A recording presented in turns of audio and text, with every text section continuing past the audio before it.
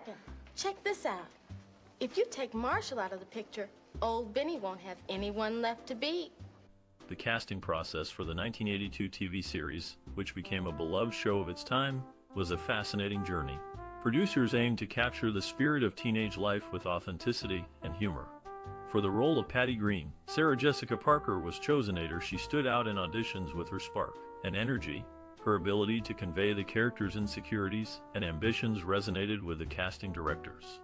Jami Gertz, known for her roles in several films, was cast as Patty's best friend, Jennifer DiNuccio.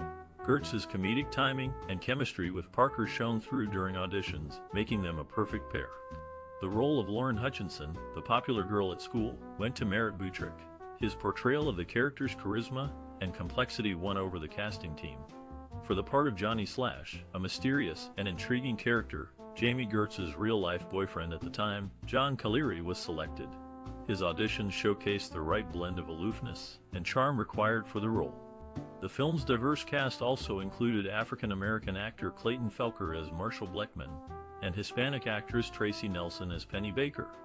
Their inclusion added depth and richness to the show's depiction of high school life. Chemistry tests played a crucial role in finalizing the cast. The producers wanted to ensure that the actors would have a natural rapport with each other. These tests helped them identify the right mix of talent and personalities that would bring the show to life. In the end, the cast of the series became much more than just a group of actors. They became a tight-knit ensemble that brought authenticity and humor to the story of teenage life in the 1980s. We're talking about girls football. Wow. That's a totally different team. The director of the 1982 TV series, known for its authentic portrayal of teenage life, brought a unique vision to the screen. With a background in documentary filmmaking, they approached the show with a sense of realism, aiming to capture the raw emotions and experiences of adolescence. The director's style was characterized by their use of handheld cameras and natural lighting, which gave the series a cinema verite feel. They also employed a loose shooting style, allowing the actors to improvise and play off each other's energies. This approach created a sense of authenticity and spontaneity that resonated with audiences. Collaboration was key to the director's process. They worked closely with the writers to develop the characters and storylines, often drawing from their own experiences growing up.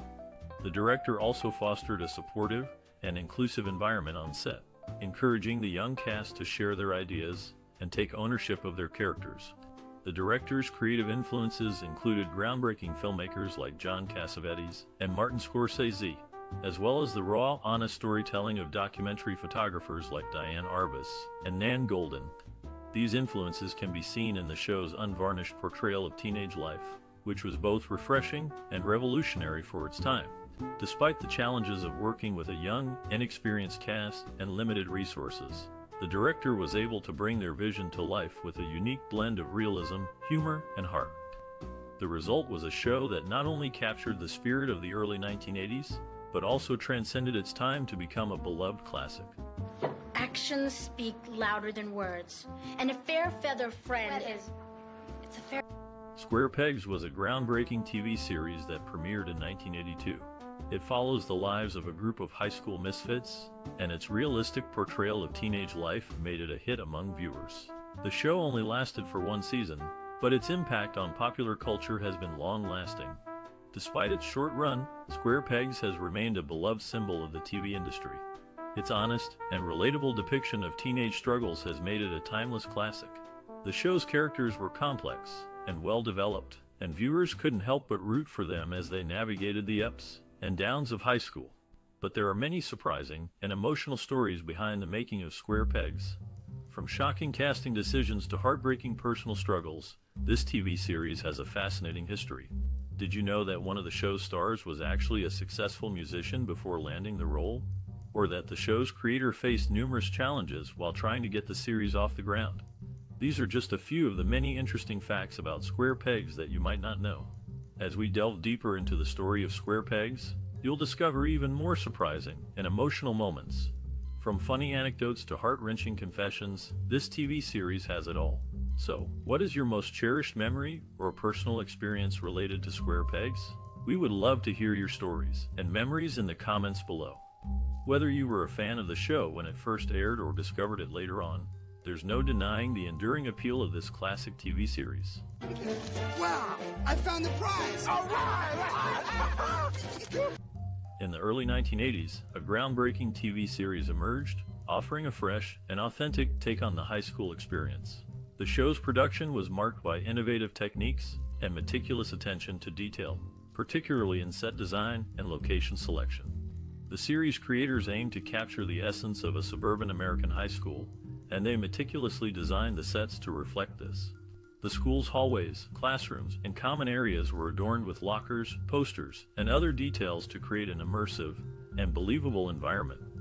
Even the cafeteria, a central location for many episodes, was designed with care, featuring a variety of tables and seating options to accommodate different student groups. When it came to filming, the production team faced several logistical challenges. For one, they had to balance the needs of the story with the constraints of the school setting. This meant working around the schedules of real students and teachers, as well as ensuring that filming did not disrupt the normal school day. To overcome these challenges, the production team employed several innovative techniques. For example, they used mobile set pieces, such as rolling lockers and portable chalkboards, to quickly transform a single space into multiple locations. This allowed them to film multiple scenes in a single location, reducing the need for travel and setup time. Additionally, the team made use of cutting-edge technologies, such as handheld cameras and portable lighting equipment, to capture the action in a more spontaneous and intimate way. This gave the series a more cinematic feel, setting it apart from other TV shows of the time. Despite these innovations, the production of the series was not without its challenges. For instance, filming in a real school meant dealing with issues such as noise and lighting conditions that were beyond the control of the production team. However, through careful planning and creative problem solving, the team was able to overcome these obstacles and create a show that resonated with audiences and left a lasting impact on television history. Number ones, and two weeks later I got these great Ginsu knives. The TV series, often referred to as Square Pegs, debuted in 1982 and captured the hearts of many with its authentic portrayal of high school life. The show, created by Anne Beatts, was known for its relatable characters and coming-of-age themes. The series follows the lives of two freshman girls, Patty and Lauren, who are eager to fit in at their new school. The girls' journey to self-discovery is filled with humorous and heartwarming moments as they navigate the complex social dynamics of high school. The cast of Square Pegs includes Sarah Jessica Parker, who plays the role of Patty, and Amy Linker, who portrays Lauren. Both actresses deliver strong performances, bringing depth and authenticity to their characters. The show also features a talented supporting cast, including Jami Gertz, who plays the popular cheerleader, and John Femia, who plays the school's resident bad boy. The ensemble works well together, creating a believable and engaging high school environment. Square Pegs is as notable for its catchy soundtrack, featuring popular music from the early 1980s. The show's theme song, My Guy, became a hit single and is still remembered fondly by fans today. Despite its short run of only one season, Square Pegs left a lasting impact on television and pop culture. The show's honest portrayal of high school life resonated with audiences, paving the way for future coming-of-age series. In conclusion, Square Pegs is a charming and relatable TV series that captures the ups and downs of high school life. With its talented cast and memorable soundtrack, the show remains a beloved classic among fans of 80s television. Searching through your streets on ponies, on old pennies, in books. The music in the TV series played a significant role in enhancing its narrative and emotional tone. Composer Dennis McCarthy and musician Mark Lindsay were involved in creating the show's score and soundtrack. McCarthy, known for his work on Star Trek, brought a unique perspective to the show's music. He created a score that complemented the characters' experiences and emotions. The music was upbeat and catchy, reflecting the youthful energy of the series. Lindsay, a former member of the band Paul Revere, and the Raiders, contributed to the soundtrack with his talent for pop music. He wrote and performed the theme song, which became a hit and added to the show's popularity. The music in the film was carefully crafted to enhance the storyline and characters' emotions. For instance, the use of upbeat music during party scenes created a lively and energetic atmosphere. In contrast, slower, more poignant tunes accompanied emotional or dramatic moments, adding depth and intensity. Moreover, the music in the series was also used to highlight cultural references and influences of the time. The soundtrack featured popular songs from the early 80s, providing a nostalgic backdrop for the show's setting. In creating the music for the film, McCarthy and Lindsay drew inspiration from their own experiences and the show's script. They worked closely with the show's creators to ensure that the music aligned with the narrative and emotional tone. Overall, the music in the series played a crucial role in shaping its overall feel and impact. The catchy theme song, upbeat party tunes, and emotional ballads all contributed to the show's success and enduring popularity.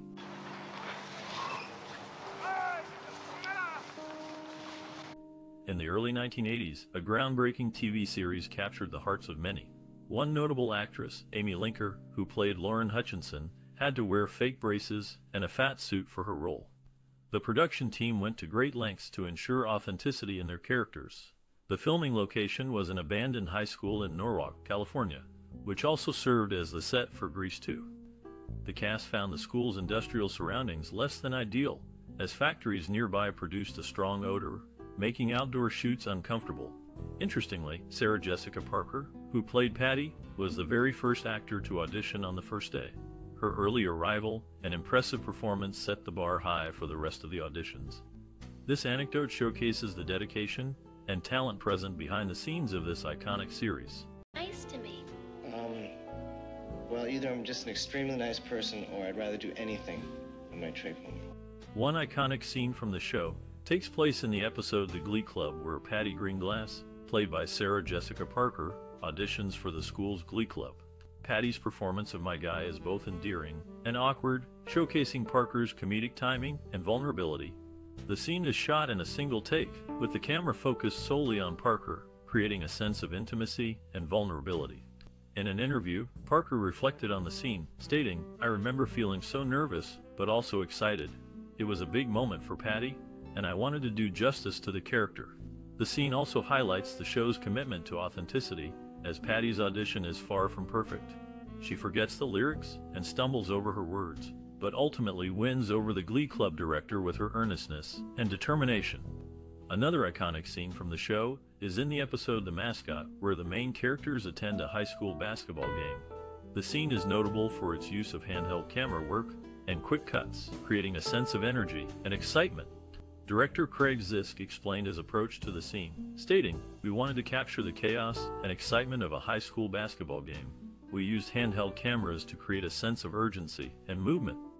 The scene also features a memorable performance by the show's resident bad boy Johnny Slash, played by John Femia. Slash performs a dance routine on the sidelines, much to the delight of the crowd. Femia's performance is both confident and charismatic, showcasing his natural talent as a performer.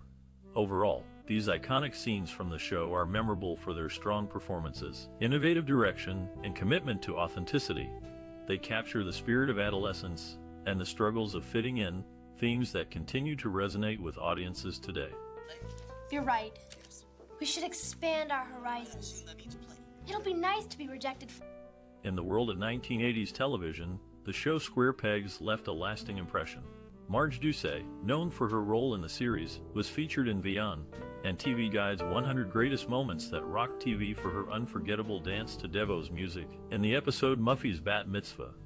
The casting of Sarah Jessica Parker as Patty was almost derailed due to her perceived attractiveness. However, the casting director's sunglasses and a bit of creativity saved the day, leading to Parker's successful portrayal of the character. Moreover, the bond between the show's creator, Anne Beatts, and actress Amy Linker, who played Lauren, remained strong even after the series ended. As of 2020, they continue to stay in touch, highlighting the enduring connections formed during the filming of the show. Oh, you already know Patty. Oh, yeah. She's a great kid. Released in 1982, this TV series quickly gained popularity among audiences, particularly teenagers, for its authentic portrayal of high school life. The show resonated with viewers due to its relatable characters and realistic storylines, which differed from the idealized versions often seen in other media. The series tackled various social and cultural themes relevant to its time, such as the struggle for identity, the pressures of conformity, and the challenges of adolescence. By addressing these issues, the film contributed to important discussions and helped young audiences feel seen and understood. Moreover, the show influenced pop culture in various ways.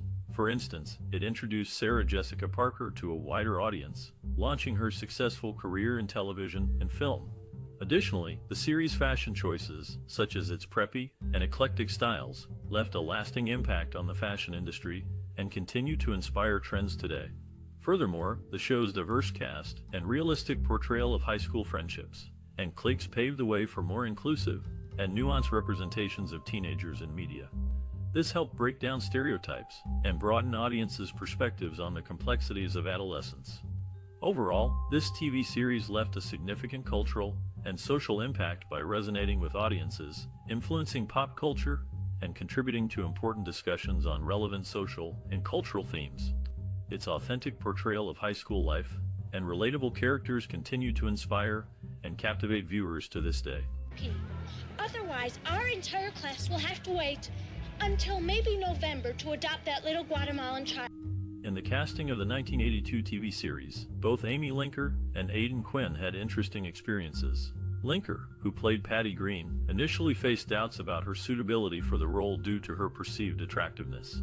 Meanwhile, Quinn auditioned for the part of Johnny Slash, but was considered too old for the part, which eventually went to Merritt Butrick. The show's cancellation after just one season was unexpected, as it had received positive reviews from critics and was well liked by viewers. However, it was later revealed that the show's production was marred by rampant drug use among the cast and crew members. Overall, the 1982 TV series had a memorable cast and interesting behind the scenes stories, but its potential was cut short due to off screen issues. I mean, the rhythm of the tom tom is in his blood, and he's got to get down and do his. The 1982 TV series, often simply referred to as The Show, received mixed reviews from critics when it first aired. Some praised it for its fresh and realistic portrayal of teenage life, while others criticized it for its lack of originality. However, the series gained a loyal following among young viewers who appreciated its humor and relatable characters. Notable television critic Tom Shales of The Washington Post described the show as a bright, breezy, and often funny look at the traumas and tribulations of being a teenager. He commended the performances of the young cast, particularly Sarah Jessica Parker, who played the lead role of Patty Greene. Despite the mixed critical reception, the show was nominated for several awards during its brief run. It received two Emmy nominations, including Outstanding Writing in a Comedy Series and Outstanding Directing in a Comedy Series. The show's theme song, My Guy, performed by Grace Jones, was also nominated for a Grammy Award for Best Pop Performance by a Duo or Group with Vocals. The nominations and awards were a testament to the hard work and talent of everyone involved in the show, from the writers and directors to the actors and crew members. The recognition helped to legitimize the series and gave it a level of credibility in the entertainment industry. Furthermore, the show's impact was felt beyond just the awards and nominations. It served as a launching pad for the careers of several young actors, including Sarah Jessica Parker, who went on to become a major star in film and television. The show also helped to pave the way for other teen centered comedies that followed, such as Freaks and Geeks and Saved by the Bell. In conclusion, while the critical reception of the show may have been mixed, its nominations and awards, as well as its impact on the entertainment industry and the careers of those involved, speak to its enduring legacy and significance. Are you out of your like mind? In the making of the 1982 TV series, several interesting changes occurred. For instance, the original actor cast as Johnny Slash John Femia was replaced by Merritt Butrick after the showrunners were impressed by Butrick's audition. Femia was then recast as Marshall Blechtman, who was initially written as a computer geek. However, when Femia performed several scenes, it became clear that the character wasn't working. In an attempt to avoid being fired, Femia decided to play to his strengths and suggested they make his character a class clown instead. The part was rewritten as a cute up who did impressions. Additionally, Amy Linker, who played Lauren Hutchinson, wore padding and fake braces during filming. The show also brought two of its actresses, Tracy Nelson and Claudette Wells, together. They met on set and became fast friends, remaining best friends to this day. Overall, the making of the TV series was filled with unexpected changes and the forming of lasting friendships. It's nobody's fault. During the filming of the popular 80s TV series, Sarah Jessica Parker, who played the lead role, was known for her infectious laughter. Her giggles were so contagious that they often caused other cast members to break character during scenes. The show's creator, Anne Beatts, was a former writer for Saturday Night Live. She brought her unique humor to the series, which helped it stand out from other teen comedies of the time. One episode featured a guest appearance by MTV VJ Martha Quinn. The young cast members were starstruck and nervous to meet her, but she put them at ease with her friendly and down to earth personality. The show tackled real life issues that teenagers faced, such as peer pressure, body image, and relationships. The writers conducted research by talking to high school students and incorporating their experiences into the show. Despite its critical acclaim, the series only lasted one season due to low ratings. However, it has since gained a cult following and remains a beloved classic among fans of 80s television. The young cast members formed close bonds during filming and have remained friends to this day. They often reminisce about their time on the show and the lasting impact it had on their careers. In one memorable episode, the characters attended a school dance and performed a choreographed routine to the song Mickey by Toni Basil. The scene took hours to film due to the complex dance moves and the cast's lack of dance experience. Behind the scenes, the crew worked tirelessly to create the show's iconic 80s fashion. The wardrobe department spent hours sourcing clothing and accessories to capture the essence of the era. The show's theme song, performed by the waitresses, became a hit single and is still remembered fondly by fans today. The catchy tune perfectly captured the spirit of the show and its quirky characters. Despite its short run, the impact of the series can still be felt today. It paved the way for future teen comedies and helped launch the careers of several young actors. Mr. Murphy, we're all reasonable adults. We can discuss this. What? Behind the scenes of the show, the teenage cast of the TV series faced unfortunate circumstances, including drug abuse. The creator, Anne Beatts, revealed that drug use was prevalent on set, stating that it was the norm.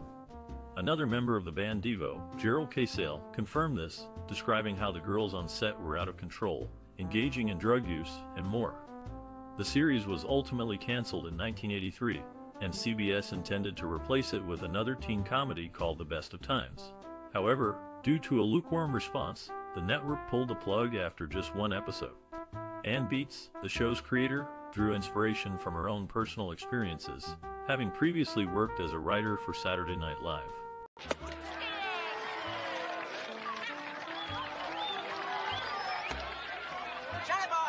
The 1982 TV series, often referred to as Square Pegs, holds a significant place in film history.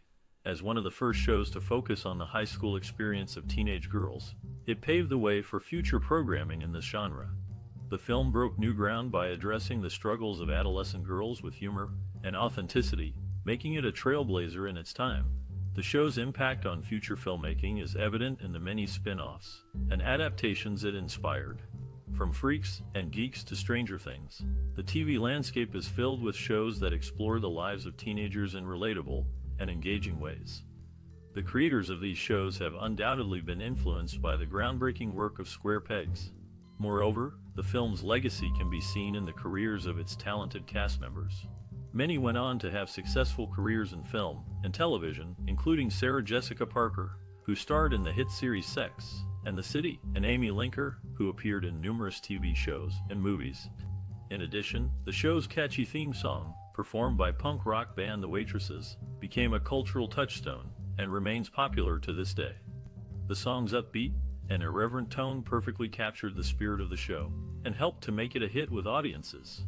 Overall, Square Pegs left an indelible mark on the world of television and film. Its groundbreaking approach to storytelling and its impact on future filmmaking have cemented its place in film history. We got a slash, we got a maid. That simple never show.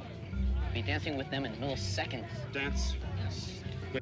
In the world of 1982 television, the series Square Pegs featured several interesting behind the scenes stories. For instance, Merritt R. Butrick, who played a significant role, had previously been told by the California Institute of the Arts faculty that he lacked the talent to continue his studies there. They even suggested that he look for another career path. However, the following year, he landed a part in Square Pegs, much to the surprise and chagrin of his former teachers, when he later appeared in Star Trek II. The Wrath of Khan, one of his teachers expressed happiness that Butrick hadn't listened to them and had believed in himself, ultimately proving them wrong. Moreover, during the filming of the episode It's All How You See Things, actresses Amy Linker and Sarah Jessica Parker were actually fighting, just like their characters in the show. When Patty throws the lunch tray at Lauren, Linker was so enraged that she threw the milk at her co-star. This was not planned or directed, but the two actresses later made amends. Additionally, both Tracy Nelson and Claudette Wells had to wear wigs throughout the series. Nelson had a very short new wave haircut when she was cast, but the director of the pilot thought her short hair made her look like a boy, so she was fitted with a longer wig. When Wells was cast, she was told she needed to get braids and beads.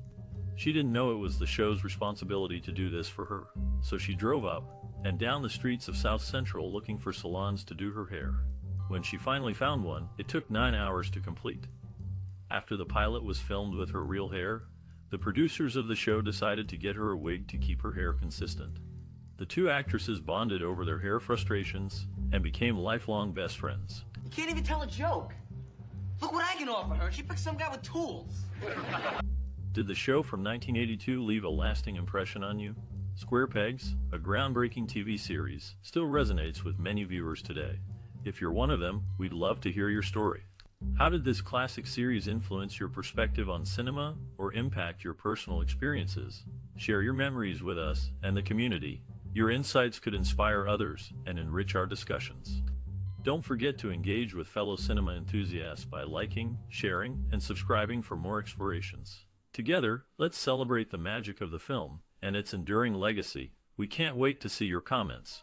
No, I'm not. And I know that there are others who feel the same way. Well, you have to try and understand him.